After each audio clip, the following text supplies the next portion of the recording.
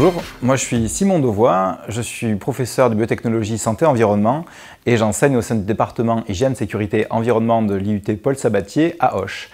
Euh, j'enseigne plutôt les questions de sécurité, santé au travail, hein, c'est-à-dire on étudie le document unique, hein, comment éviter les accidents du travail en entreprise, mais aussi les maladies professionnelles, parce que j'enseigne aussi l'ergonomie, l'adaptation du travail à l'homme.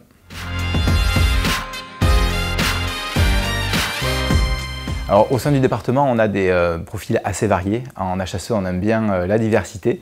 Euh, et c'est vrai que c'est plutôt des bacs techno hein, qu'on recrute à hauteur de 50%, principalement des bacs STI 2D, mais aussi des bacs SC2S et STL. Les SC2S notamment pour l'approche sanitaire et sociale qu'ils ont, puisque au département HSE, on a euh, une coloration à Hoche euh, sur les, questions de santé au travail, et donc le côté sanitaire et social trouve son écho par rapport à la formation qu'ils ont eue. Euh, bon après c'est sûr qu'avec la coloration aussi environnement qu'on a, de fait les STI2D sont très à l'aise, et puis les STL aussi. après, on a aussi 50% de bacs généraux, plutôt avec des EDS scientifiques, donc maths, physique, chimie, biologie et sciences de l'ingénieur.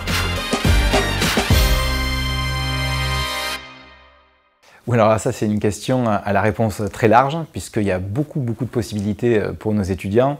Euh, bah déjà, il faut savoir qu'on euh, on frôle les 100% de réussite. Tous nos étudiants quasiment en IUT, vu l'accompagnement qu'on peut offrir, qu'on a la, chance de pouvoir offrir, fait que, effectivement, ils arrivent tous au bout des trois ans. Au bout de ces trois ans, ils ont le choix soit de s'insérer directement dans le monde professionnel, ça va correspondre à 50% d'entre eux à peu près, euh, dans les trois grands domaines, à savoir la santé au travail, euh, dans les services de prévention et de santé euh, au travail interprofessionnel, mais aussi en entreprise, pour préserver la santé des salariés tout au long de leur carrière, éviter les accidents du travail, mais aussi les maladies professionnelles, éviter l'usure au travail, assurer le maintien dans l'emploi, éviter la désinsertion professionnelle.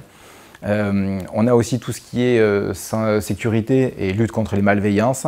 Là, on est plutôt sur le côté euh, opérationnel, hein, comment agir face à une victime, comment aussi éviter ou endiguer un accident qui a eu lieu sur les installations industrielles, feu, explosion, et puis en environnement évidemment aussi, c'est-à-dire arriver à doser, mesurer euh, l'impact que peuvent avoir les activités euh, humaines, les activités dites anthropiques, sur les écosystèmes, mais aussi sur le voisinage, comme tout ce qui peut être bruit, odeur, euh, usure des routes, ce genre de choses-là.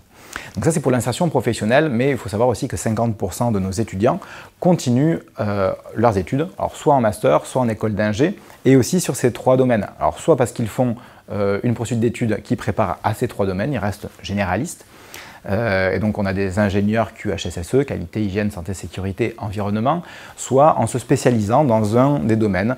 On pense par exemple à un master en ergonomie, adaptation du travail à l'homme, compréhension des contraintes que le travail apporte à l'opérateur au cours de son travail pour essayer de transformer le travail et éviter qu'il n'ait d'impact sur sa santé, mais aussi toxicologie, risques chimiques et, bien d'autres. Euh, on en a euh, des spécialisations aussi en sécurité, sûreté, défense et en environnement évidemment.